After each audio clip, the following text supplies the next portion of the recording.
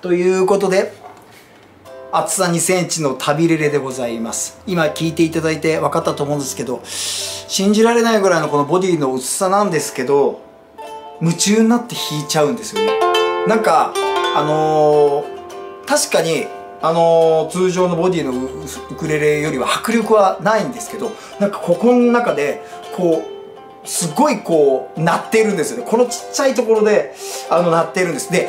音量的にちっちゃいっていうわけじゃないんですよね。なので、レンジと言いますけど、この音が出る周波数がですね、やっぱりかなり高めというか、コロコロ、コロコロどころかなんかね、なんか独特のこの響きなんですね。ほんとここのところでね、こう、すごいエネルギッシュにちっちゃくエネルギッシュみたいな感じで独特の世界観です。はい。これ、旅レレという、えー、G ラブでこう、あのー、新しく展開してるシリーズなんですけど、まあなんといってもこの特徴は厚さ2センチ。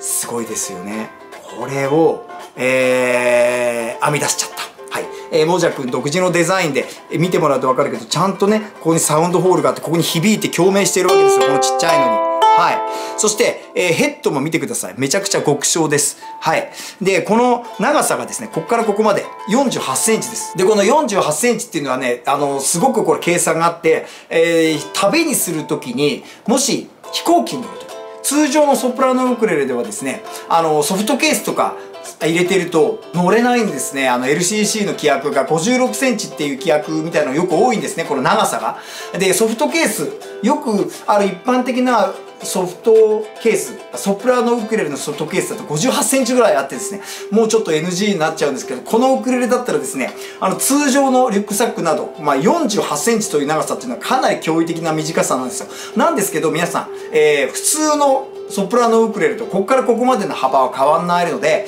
えー、弾き心地とか弦も何の変哲も普通のどのメーカーの弦でもお張りいただくことができますしその辺がもうかなりの特徴です。これつまり世界中を一緒に飛び回るレルウクレレです。まあ見てもらうと分かるようにガズのねこの手首肘からこの指先までのちょっと長いぐらいかなという感じでまあちょっと見てもらうと分かるんですけどまあとにかく通常のウクレレよりかなり短い。はい。でもねその分ボディがこっちに寄っていたりしてるんですよ。この、こ、こんなにここがね、ここ短いのが特徴でございます。なんですけど、ちゃんとこれ独自設計のネックで幅が広くなって、あのネックのね、ここ見てもらうと分かるように、このボディの厚さに合わせたネックのこのラインになってるでしょこれがやっぱり独自のこの握りやすさ。ちゃんと考えられてて、幅をちょっと広く取っていて、えー、抑えやすいということになっております。他のところはですね、あの、わがままウクレレとか薄レレと共通の、えー、スペックになってまして、えー、言っていきます。えー、トップ材はアカシアという G ラボが一番得意とする木で、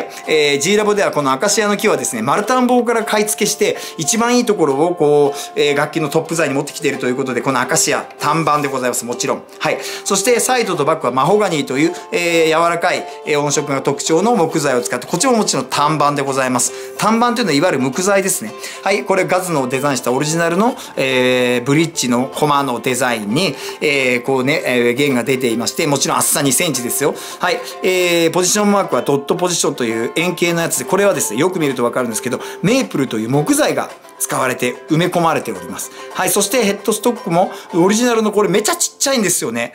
かなりちっちゃいです、このヘッドデザインは。はい。に、G マークはメイプルの木が埋め込まれているということでございます。はい。ペグは一見1対1のストレートペグに見えますけれども、ギアが入った超軽量タイプ。こっちを6回回すとこっちが1回回すというんで、すごくチューニングもしやすくて、なおかつ超軽量なんで、まさに旅レレにはもってこいでございます。で、あのー、こういうボディがちっちゃいとか薄いっていうのとだとね、やっぱボディバランスが結構悪くなりがちなんですけど、あの全然あの、今弾いてみてもわかるように、あの、何の遜色もなくすごく弾きやすいんですけどね。慣れないとですね、この薄さが、あの、気になるかと思いきや、案外ここ見てもらうと、この肘がですね、こう、干渉しないんですよ。ここ、隙間がね。なんで、子供さんとかで、あの、にもめちゃくちゃおすすめだなと思います。で、音の響きがですね、この独特なんでね、なんか、あのー、ほんとね、なんていう表現がで、このコロコロ音にはまります。ガズさんもいつもこれソファーにいつも置いててですね、思わずこう手を伸ばしてこうポロポロポロポロ弾いてしまう。そんな感じのウクレレになってます。はい。